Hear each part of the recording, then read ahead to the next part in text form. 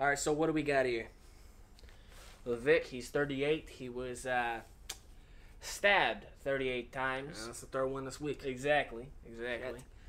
Yeah. The killer actually left that note.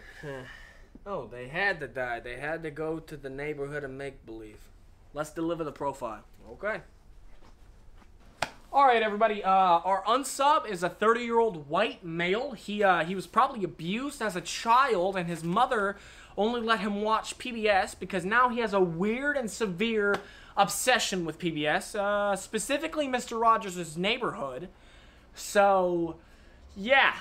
And we already know who he is, and we already know what he looks like. That's how we knew it. Um, also, we know where he's at. We just gotta wait for the next victim to be killed and or abducted. The new body has actually So, been yeah. found. He's exactly Oh, what you think he is. sick. All right, let's head out. Hey, FBI, you're under arrest. It's a wonderful day in this neighborhood. Okay, shut up, Mr. Fuckface. What? This is Criminal Minds. You already know how this ends. Man, I thought I was a reoccurring character. Nope. Abraham Lincoln once said, Where the fuck are we getting all these quotes from? Where? I'm tired of this shit. I'm tired. I mean, I didn't have to shoot him, but guess what? Uh, I had to get my kill count to 20.